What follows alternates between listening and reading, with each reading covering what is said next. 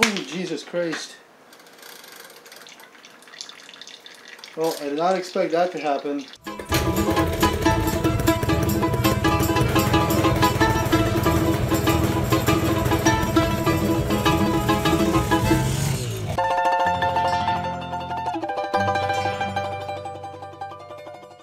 Welcome back to the Kosmoto channel everyone, I'm Kosmo and today I'm going to be changing the fork seals on my 1978 Yamaha DT175. I actually need to swap these forks onto another bike, so this is a perfect opportunity to inspect them, do the seals, and uh, swap different forks onto the red DT.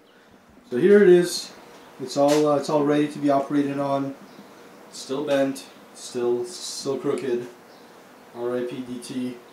But I did go ahead and take out the spring from this tube before the video simply because I just wanted to see what I was getting myself into. I also drained some oil. Now this is probably like one-fifth of what actually came out of there. The rest was on the floor.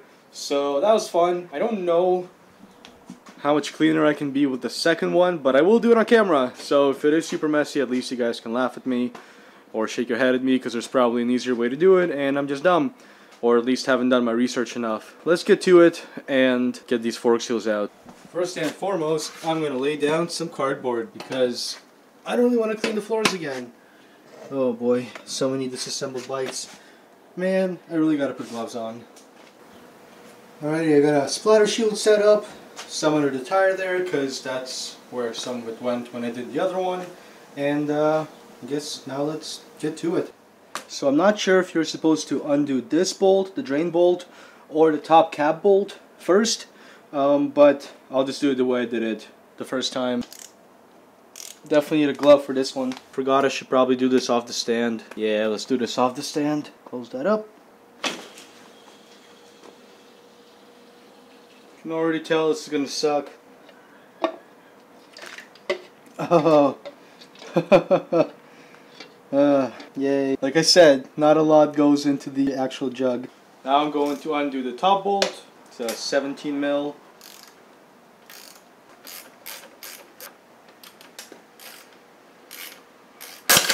Oh, Jesus Christ. Well, I did not expect that to happen. Alright, let's get it on the stand ASAP. Jeez, that sucks. I am so smart. SMRT.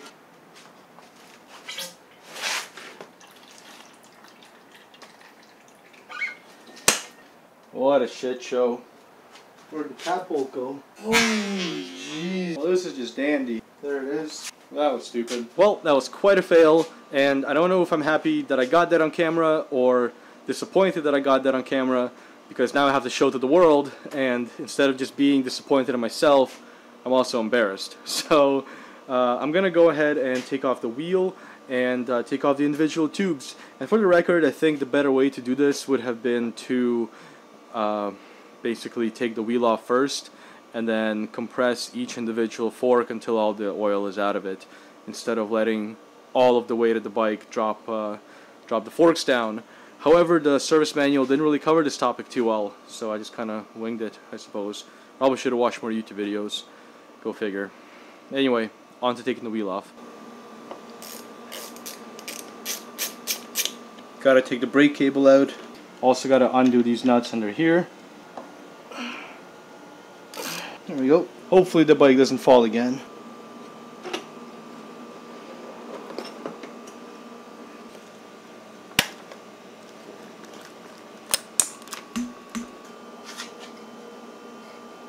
This is all so, so sketchy. I don't want to strap the bike to the stand because, I don't know, somehow I just feel like that'll make it worse. But I have to do this quick. I gotta get these tubes out. I gotta put the other tubes in and uh, yeah, get this thing back on its own two wheels because this is scaring me a little.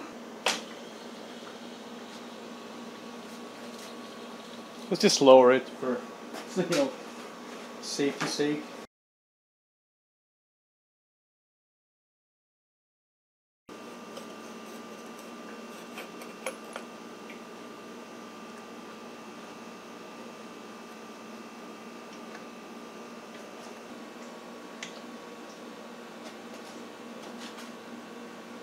Just like that, the old forks are out. Now before this thing falls off the stand, I'm gonna put the 1979 forks on here. I don't know where I'm pointing.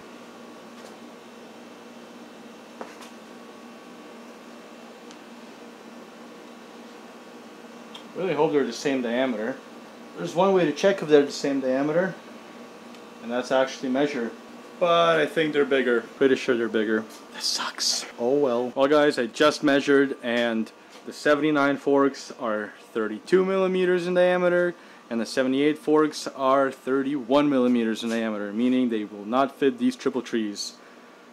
Meaning I gotta swap the whole whole steering steering assembly out, which is fine, but I did paint these ones for the trail bike, which the 78 forks were gonna go on, and now they're gonna go on the bike that's not gonna get touched for a while. So, got a bit more painting to do that's okay. Um, I'm just going to get to it because there's no point in wasting time. It appears I've started a video about replacing seals on a 1978 Yamaha DT175 and halfway through the video found myself doing a full front end swap. Uh, basically what I wanted to do is just take out the 1978 forks and swap in the 1979 tubes. You know, not take the triple trees off, nothing. Um, unfortunately, I very quickly realized that the 1979 forks are one millimeter thicker so, had to swap out the whole steering assembly. Um, I didn't film any of it because this is not what this video is about, but it's done now. The bike has a 1979 front end which has longer travel as you can tell by the raised axle point. Um, yeah, it's a nicer suspension. It's going to be sweet when this bike is uh, being built up, but I'm going to rebuild the 78 forks to go on my trail bike, which is the silver bike. Anyway, now that that's done, I need a break. I'm going to clean up the shop, and let's proceed with the seal replacement. Alrighty guys, let's get straight into the seal replacement. Let's not waste any more time. Uh, the first thing that I'm going to do is take out the tubes from the lowers, and the reason I'm going to do that first is because I have to take off these metal covers, and while taking off the metal covers, I don't want to scratch up the, the tubes. So the way you take off the tubes is there's a bolt on the bottom of the fork that uh, you just have to undo. So let's do that. Good luck, right? Probably should have done this on the bike. Oh yeah, this is not happening. I have vice. I have a wooden vice actually. I don't feel like repositioning the camera, so I'm just gonna go quickly do this. That's one. Well guys, it's hard to tell, but that uh, bolt head is stripped. So I guess the previous owner tried to do that and failed. Um, I guess I gotta try and extract that out now. I really hope it works. Can't even get the extractor low enough because of these bolts, of these studs I mean. Man, that sucks. I need a really long extractor, I guess. I suppose I'm gonna have to wait to do the seal replacement on the other fork until later, until uh, after I can figure out how how I can get that bolt out. But for now, let's just focus on this one. Let's focus on what we can do. let's uh, finish getting that bolt out of there and get the fork tube out. Come on. It's a grimy one. Let's take the fork tube out. Don't know how this works. What do I do? The instructions were unclear. Nice, more oil. Oh, let's get that all out of there. But seriously, how does this tube come out? I'm such a noob. Oh, there we go. Jesus. That's scary. Well, clearly there's some damage there. Guess I'm just gonna put this aside for now. It's just scary stuff. I don't like taking my bike apart. No, it's fun. It's all fun. Alright, yeah, I'm going to put this away for now. I've got the fork lower in front of me, I have the service manual, and now I have to get this metal cap off. The service manual actually tells you to use a flathead screwdriver, which is crazy to just, you know, uh, kind of wedge it in here and tap at it with a rubber mallet. So I guess I'll try doing that. Really hope this works and I don't just end up breaking more stuff. I don't like that one bit, man. All this hammering on suspension parts. Come on, guy. Why? Why did you guys have to do this? That's so dumb. Alrighty guys, I got the cover off. I just used a big screwdriver and I pried it out like this. It came out really easily, so that's good. Nothing's damaged, that's always good. Uh, let's proceed. I'm to wipe this down because it's really, really dirty. I'm to put this aside for now. It's to get cleaned with the rest of this stuff. This stuff's getting taken out, but I just want to clean it a bit before I touch it. Ugh, so much muck. Let's see if I can get this thing out. Perfect. Got to get this retaining ring out now. Now I'm wondering what the best way to do that is because I don't want to damage the tube. That's actually not that bad.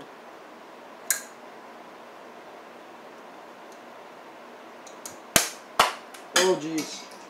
That almost flew into my eye. I'm wearing safety glasses for the next one. How do we get this guy out? I'm just gonna put a glove on and try and squeeze it out. Ha! Yeah. Good luck. Alrighty. I'm going in. This is going to end badly. Need some sort of like a clamping tool that clamps it from the inside. Really should stop poking at it. It's not going to end well. Maybe I can 3D print a puller. Maybe I can do that. Alright, let's get to the drawing board. So it's a couple of hours later and I have 3D printed this little tool that will hopefully help me get the seal out. Uh, I can't take credit for the design, I just saw an animation on YouTube, or rather Google, and uh, designed my own. I hope it works. Uh, I did leave a wider space in here in case this guy's too flimsy. Hopefully that's good, so let's give it a try.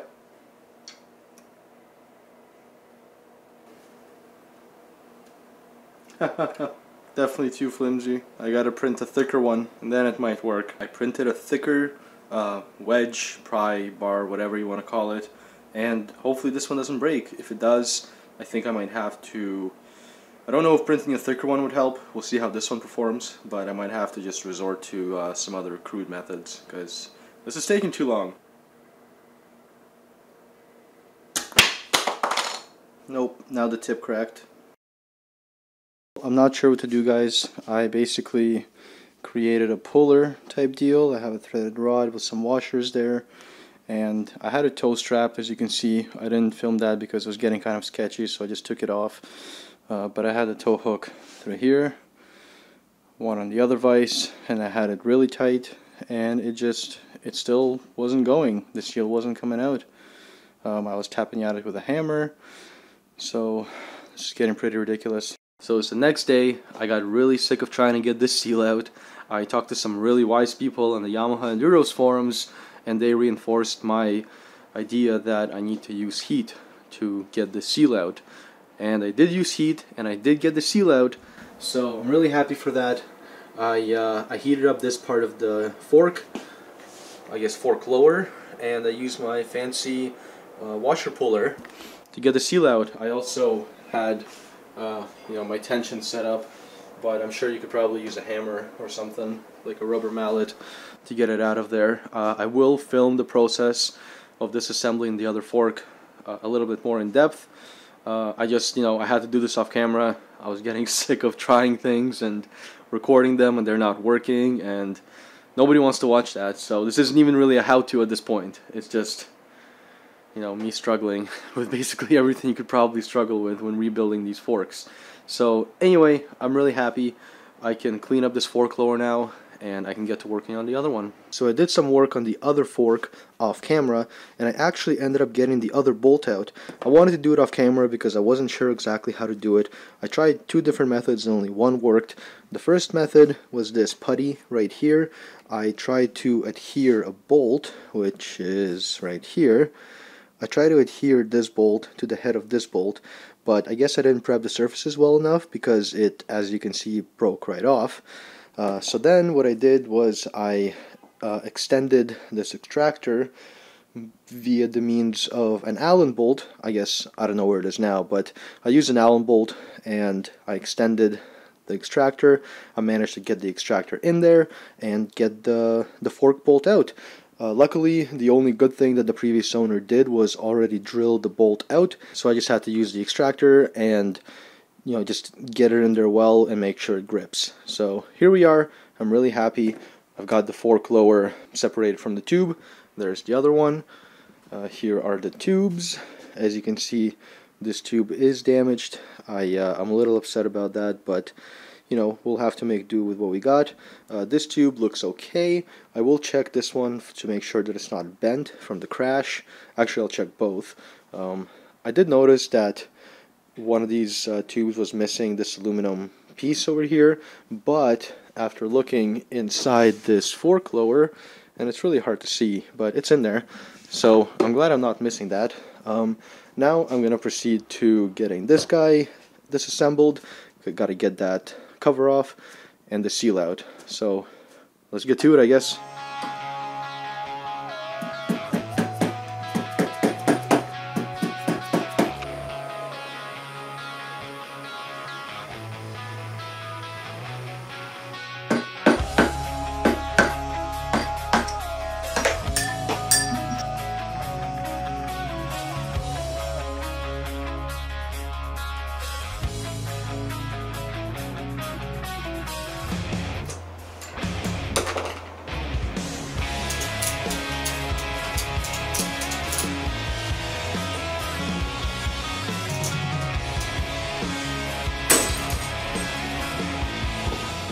As you guys can probably tell, I feel pretty done with this fork rebuild at this point. Uh, I'm pretty upset with the way the previous owner took care of these things as well. Uh, the insides of uh, the seal journals where the seals sit are gouged and it's just, it's bad. It's going to take some time to clean up and I wasn't going to take time to clean them up, but you know, I'm so pissed off that I'm just going to do these things justice and if, uh, if they're on their last breath here, then at least I'll I'll give them a good send-off. This thing's still a little hot, but let's see if I can show you the gouges that I'm talking about. There's some right there. I don't know if there's better light somehow. Hard to tell. There you go. There's a big gouge there. Gouge there. needless to say, this thing needs some TLC. Both sides do. Um, I'll get it there. It's just, it's been taking me a while and I just want to ride.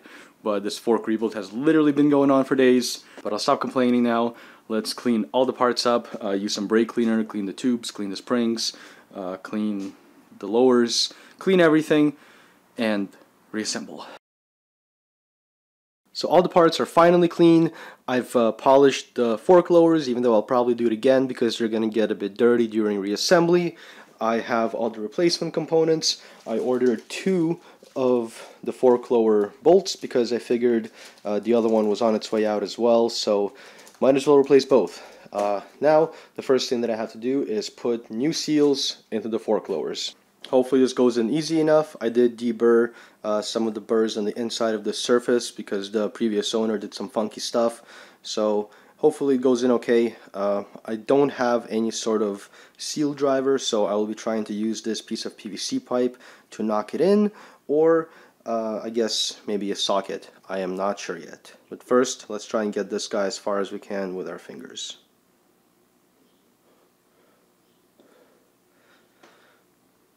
Oh, I forgot a critical thing actually. Oil. Oil the outside of this. The fork oil that I'll be using is this Motul Medium 10W. I also have a heavy 20W, but I figure I'd use the lighter stuff because I do like softer suspension. I can always uh, swap it out, I guess. It's going to be a waste of money, but I can also always add more of the 10W to make it a little heavier, or rather harder. So yeah, uh, let's use some of this stuff to put around the seal. Let's get this guy in there. First by hand, and then we'll tap it in.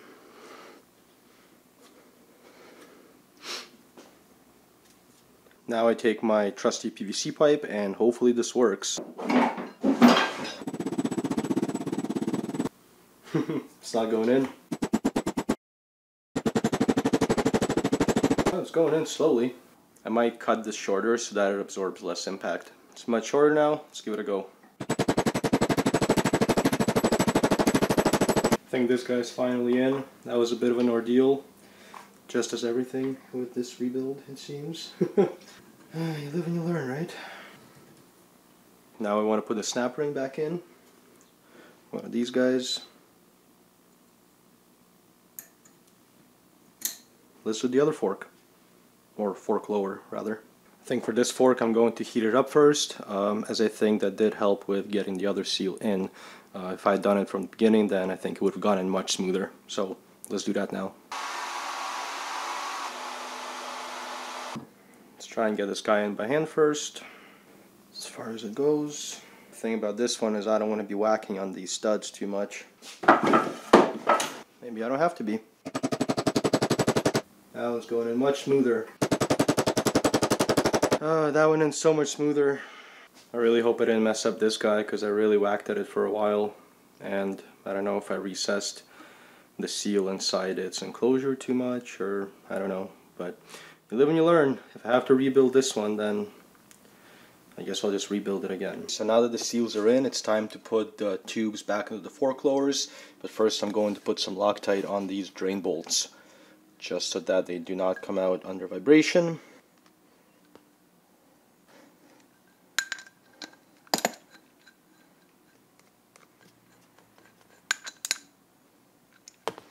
Now it's time to put the fork tube back in the fork lower. Gonna slip this through here.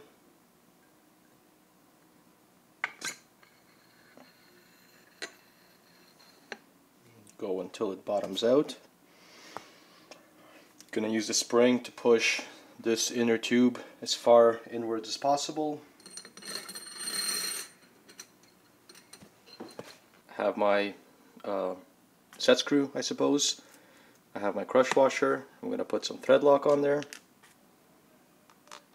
And hopefully this goes in no problem. Something tells me it is not going in.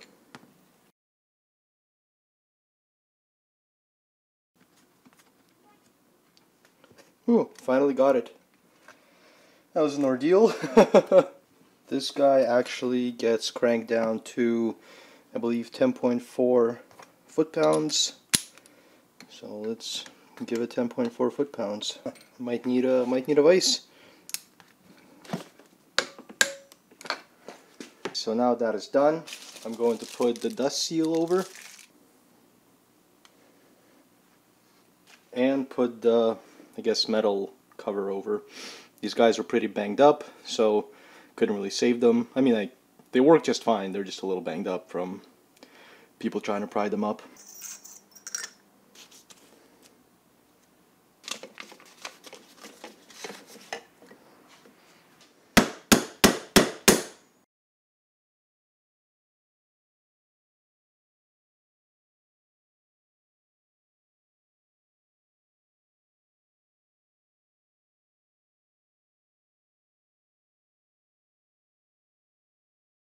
Alrighty, this one is good to go. Let's do the other one, but I'm not going to record it because this has been a long process as is. You guys saw how to do it. Uh, it's exactly the same for the other one. So, three, two, one. Just like that, the second fork is done. Now it's time to put the oil in and we're finished. So, let's do that. I can't wait. This has been so long. So I've got the fork coil ready. Like I said, I'm using Motul 10W. Uh, you can use 20W as well. The service manual calls for both. It also calls for 146 plus or minus 2 cc's of this stuff uh, per fork leg. Basically what I'm going to do is measure out 150 because it's easy on the scale here on the back of the bottle. And then I'm going to equal out both forks to make sure they've got the same amount of fluid in there because that's really the, um, the part you should worry about. It's not how much each one has, it's that they have to match. So let's get into it. I've got the fork fully compressed.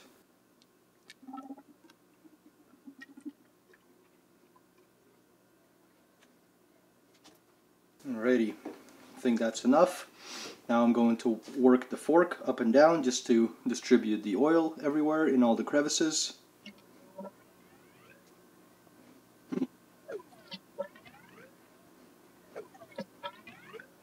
Should be good. Now let's see how far down we need to use my little tool here. Basically what this does is it sets, it's a homemade tool. I'm just trying to mimic what I saw in Digital Rider's video. He's got a proper Motion, I think Motion Pro, yeah Motion Pro tool. Um, I just made this myself right now. I have yet to secure this as it you know determines the distance this tube goes down into the fork tube. But let's you know let's see how far it at, at what point it basically starts sucking up fluid. Nope. Oh yeah, there we go. Not the most accurate of tools, but it'll do. So now we just insert it here and suck out the so-called excess. Well, this guy is good to go. We can put the spring back in and tighten up the top screw.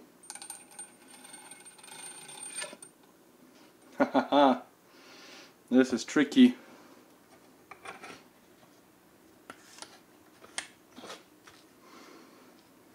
That's one. It's not fully tight, but and we can do these up uh, to torque when they're already in the bike. Let's do the second one. Once again, approximately 150, but this one won't matter too much because we have our level setter right here. Hopefully that's good. Uh, first time doing a fork rebuild, by the way. Like, one like this. I have done uh, an R6 fork set before, but for some reason that was a lot easier, and I don't think I actually ever filled them with oil, because I never used them on anything. But, yeah, true story. Let's get the spring up into this guy. Ah, it's dangerous business. There we go. And that's that. Done. Done. It's over. It's done. It's finished. Done. Finished. Well, there you have it, guys. This has been a long process. I've been doing this for what feels like weeks. I've probably been doing it for about two weeks, uh, running into all sorts of issues basically into every possible issue you could run into doing this kind of stuff, I ran into it. And it sucks, but at the same time, it's also a good lesson. Uh, I learned a lot. I know exactly what to do next time. So I'm trying to not, uh, you know, stress about it too much. It is done. The forks are good to go. They're good to go to go back on the bike. And I'm exhausted. I'm just excited that they're done. I keep repeating myself. I'm tired, guys. Um, stay tuned for the next video. It will probably be my trail bike getting built from the ground up. So that's going to be really cool. And I hope you guys enjoyed this video. I can hardly call it a how-to, but uh, you can definitely, you know, appreciate the process. so thanks for watching, and I'll catch you in the next video. Bye.